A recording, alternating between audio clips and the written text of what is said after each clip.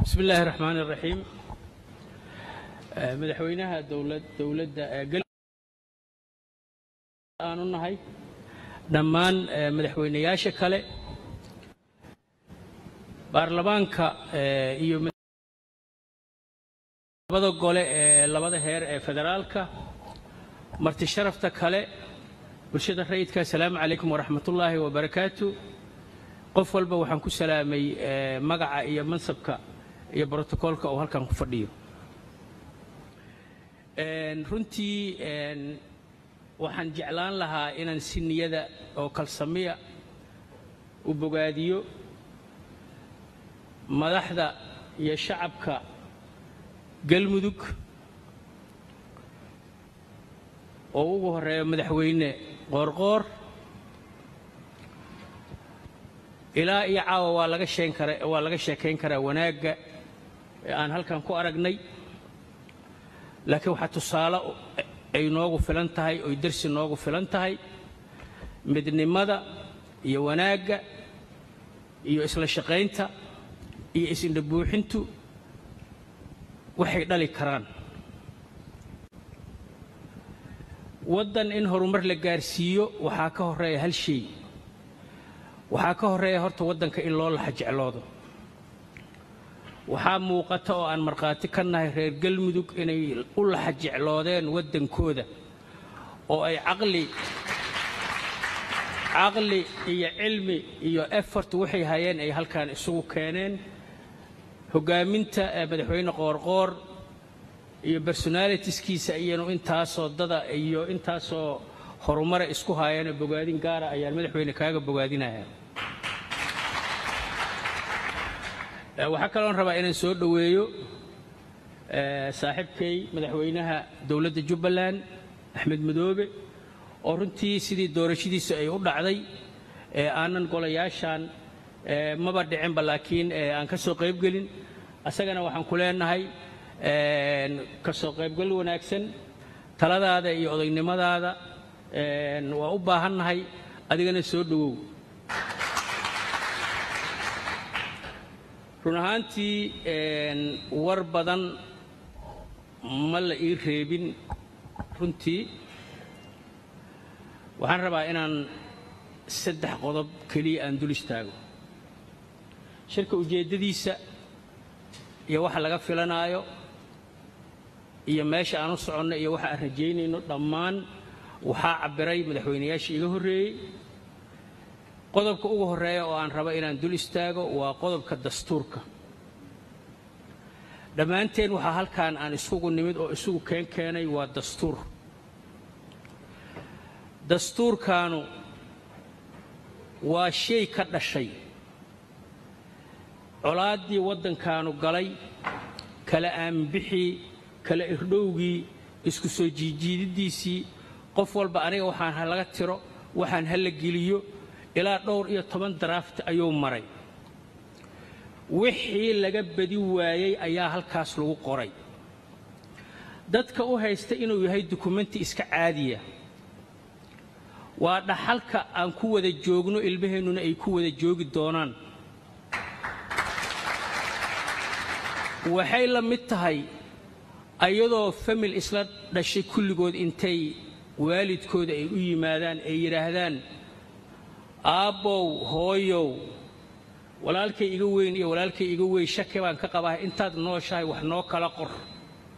Waxaas aan ku dhaqanno markaad dhimato. Dastuurku muhiimaddaasuu leeyahay. Waxaa ayaamankan batay in dastuurka la duro. Waxaa lagu leeyahay waa qabyo. Dastuurku qabyo maaha waa turjumaad qaldan kelmadda ingiriiska draft. Waxaa waaye ilaa laga ansixiyo umbuu draft yahay ma ahee? Soomaaliyu waxay isdhihi lahayd weystiri jabuutiyaa laga soo bilaabay sida madaxweynayaashu u sheegeen. Ilaa haddoo muxuu ahaay senatar cabdi qaydiid iyo tiimkooda waxay soomaaliya isdhihi lahayd ayaa halkaas la dhuudhuujinayaa. Wax caqliya oo naga maqan oo bannaanka naga jira huma jiraan waxaa la yidhahdaa wuu iska hor imaanaa dastuurku ma iska hor imaanayo waxay ku xidhan tahay in il naxariisle lagu fiiriyo.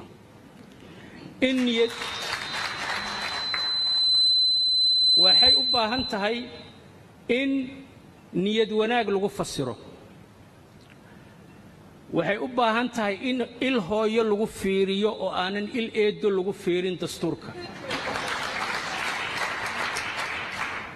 haddii il hooyo lagu fiiriyo dastuurka wax ka hadlaysano ma jiraan. Wixii ka dhimanna haddaa hawsheedu socotahay aan iimaansanno. Gaar ahaan waxyaalaha dastuurka aan ka dhexlayno waxaa ka mid ah sida loo sheegay sistamkan federaalka oo aan haysanno. Mar kasta oo ay taladu maxoogaa naga warwareerto halka aan ku taagsannaho waa federaalka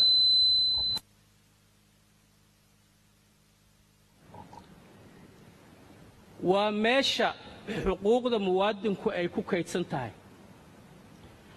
Dastuurkaas inaan iimaansanno oon wanaagsanno ayay taladeennu ku jirtaa. Sida dad badanoo yaqaan ay og yihiin aniga samafalkan ka soo shaqayn jiray dad baan wax u qaybin jirnay. Dadka marka safka la geliyo haddii safkaas loo hoggaansamo oo qof walba wakhtigiisa sugto oo qorraxda iyo dhibaatada iyo qolada safaysa iyo ay u dulqaataan hawshu fudayd ay ku soconaysaa. Laakiin haddii safka midgooyo oo wuxuuna xaq u lahayn ka doono oo mid kale halkan ka galo oo mid kale halkan ka galo waxa dhan waa isku dhex yaacayaan waddankan in xasillooni siyaasadeed laga helaha waxay ku xidhan tahay inaan dastuurka u hoggaansanno haddaan dastuurka u hoggaansanno qorrax iyo dabayl iyo wax walba aan iskaga dulqaadanno waa waddan dagaal ka soo kabanaayo laakiin waxaan hubaal ku qabaa oon ku kalsoonahay inaanaan isnacayn wixii aan ku wada hadli lahayn. Meel ayay noo yaallaan. Arrinka labaad doorashooyinka madaxweynayaashu waa ka hadleen. Adduunyadan sideedaba laba doorashaa ka jirto waddan isku toosan oo wanaagsan oo taariikhdiisa la og yahay oo dadka musharaxiintahu tabeelayaashooda iyo durbaanadooda ay soo qaadanayaan oo cid cid u baahno ay jirin oo dawladda keliya la leeyahay xoogaa dawladnimada inaadan mataqaanaa aadan dadka tartamayaasha ku xusul gelin keliya ee laga fiiriyo. Intaas doorasho noocaas waa jirtaa. Doorashada kale oo waddammada burburay iyo waddammada dhibaatooyinku ay ka jiraan ka dhaca. Hal shayaa saldhigu ah. Waxaa saldhigu ah in lagu heshiiyo.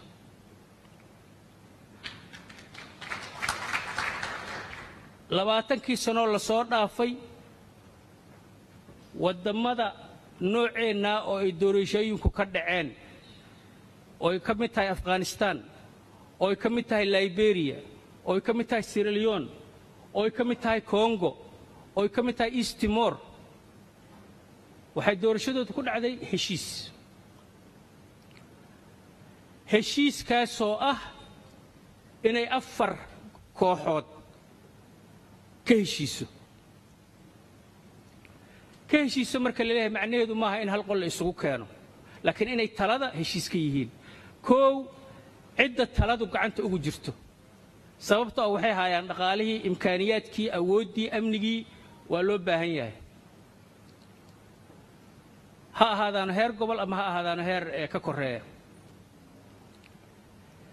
dadka xukunka hawada uga jirto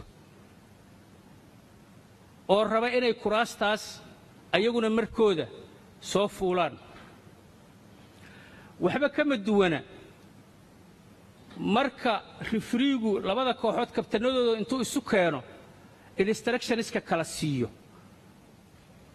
Hadduu gooni qolo ula hadlo qolo kalena gooni ula hadlo dadkii shicibkii fiirsanayay way waswaasayaan. Waa in dadka xukunka raba iyo dadka xukunka haysta ay tafaahum leeyihiin. Waxaa kaloo lagama maarmaana shicibkuna inuu raalli ka yahay oo wakaaladooda ha ahaadaano odayaasha dhaqanka ha ahaadaano culummada ha ahaadaano haweenka ha ahaadaano muxuu ahay mutaqafiinta iyo dadka mufakiriinta oo fikira waa inay waxa socda ayaguna raalli ka yihiin. Ugu dambayn beesha caalamku waa inay legitimacy inay la dul joogto waaye. Maxaa waaye sababtu? Annagu soomaaliya haddaan nahay waxaan xubin ka nahay ururo caalamiya. United nationkaa ka mida ururka carabtaa ka mida kan islaamkaa ka mida igadaa ka mida. Dhammaan ururadaasi waxay leeyihiin qodobo haddaan ku xadgudubno na qabanaya. Sidaas daraaddeed ma rabno inaan samayno doorasho ururadaas iyo beesha caalamka u arkaayaan inaan fallaagannahay oo aan taladeenna gooni aan u dhigannay doorashadu inay wakhtigeeda ku dhacdo waa muhiim sababtoo ah waa safety valve waa meeshii sistamka laga neefinaayey dhammaanna madaxweynayaashu waa ka hadleen muhiimadda ay leedahay in doorashada wakhtigeeda lagu qabto lagana heshiiyo. Wixii intaas ka soo hara waa farsamo marmarka qaarkoodna waxaan isku haysannaa wax in laysku haystaba aysan ahayn. Tusaale ahaan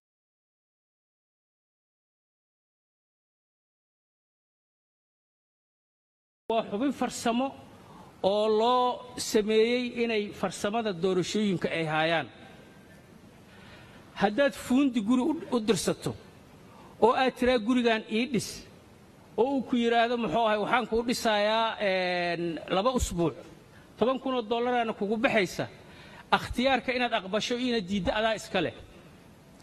Fuundigu xaq kuugu ma leh inuu kaala murmo cariishaan kuu dhisaa dhagaxaan kuu dhisaa shaqadaas shaqadaas isagu ma leh. Guddigaas hawshiisii waa qabsaday yaan la dhibin xaliimo yaray dhibka ha laga daayo talada annagaa tashanayna maalinkii tala naga soo baxdo haddana ayagaan ku celinaynaa ama kii beddelaan ku celinaynaa. Sideedaba horta meel cidlaa in layska qabsado oo layska xegxegto ama layska shakiyo waa gardarro. Qodobka ee ugu dambeeya oo aan rabaa inaan ka hadlo waa gobolka banaadir.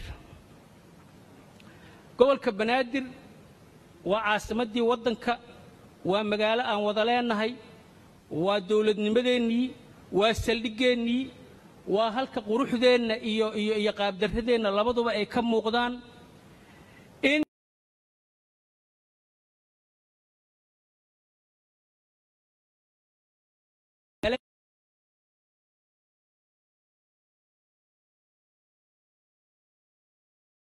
Dadka xamarne arrintaasu waswaas badan nin aan saaxiibana hadda kahor wuxuu yidhi nin yahow nin aad shirkad tihiin.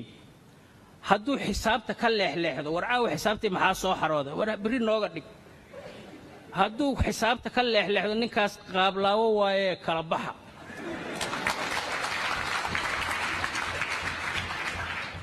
In matalaadda xamar iyo maqaamka xamar saacadda ugu dambaysa sidii excuse loogu samaynayo biraa laga hadli saa dambaa laga hadli kanaa laga hadli last minutka la iskugu yimaado waa nasiib darro.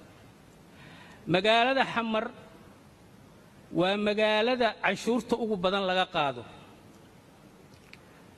Dowladda federaalka iyo gobolka banaadir iyo shabaab marka la isku daro waxaa la qiyaasaa magaalada xamar in laga qaado hal bilyan oo dollar sannadkii waxaa u dheer waxaa u dheer amni darro. Iyo muxuu ahay rafaad kale oo dowladnimada iyo caasimadnimada nafteeda ku soo ku soo ku soo gaara. Matalaaddu waa xuquuq qofka muwaadinkahu leeyahay meeshuu doonaba ha joogo.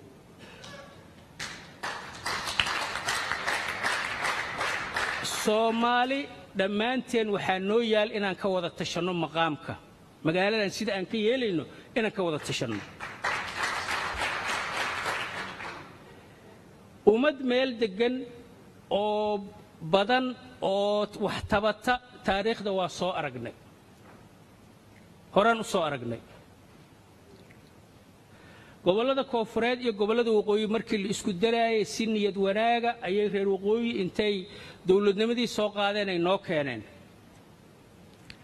waxa dhanba in ayaga lagu wareejiyey ahayd. Waxba lagama tixgelin maxamed ibraahim cigaal oo raganimadiisa kula joogaa alla joogay bes. Dowladdii markay soo burburtay salaamu calaykum iyadoo la dhihin haddana waa laga tashtay dowladaa la dhisay. Waa ka warqabtiin. Wax alla wixii shir la qabanayay oo dibu heshisiin la lahaa hal shiroo dartood u baaqda ma jiro. Horaa looga socday nimankaasu inay goostaan oo goosashadooda ay ku adkaystaan ma garay u leeyihiin mise gar uma leh? Gobolka banaadir waa caasimaddii waddankoo ma goosanayso. Laakiin waxaa ka suurtagala idiin sheegi. Waxaa ka suurtagala inay dhahaan soomaaliyey canshuur noqotayaa iyo amri darro noqotayaa iyo culays noqotayaa. Lixdan sanaan caasimadnimada soo haynee culayska ha nalaga qaado meel kale ha la geeyo waxaa ka suurtogala inay dowladnimada ka cagajiidaan oo canshuurta iyo mataqaanaa tacaamulka dowladda ka cagajiidaan oo shacbi madluumiina oo dhibaataysa dowladu kor fuusha inuu noqdaa yaa ka suurtagala. Waxaa ka suurtagala in mataqaanaa weelku buuxsamo biyaha daadiyo. Arrinta banaadir waa ka xumahay in mar walba aakhiru saaca qolada cayaarta maxay dhahan injury time. In mar walba injury timeka la iska warsado. Arrintaas waxa laga beddelo. Caasimaddaas waa wada leenahay. Aan wanaajisanno. Si aan raalli aan isaga nahanee maqaam aan ugu raadinno. Wasalaamu calaykum waraxmatullaahi wabarakaatu